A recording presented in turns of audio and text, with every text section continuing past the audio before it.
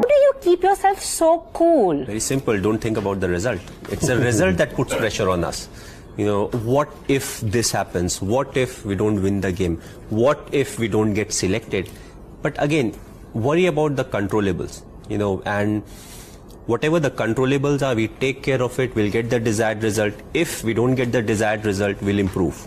We'll change our plans. We'll execute better, and we'll get get a chance to prove ourselves again.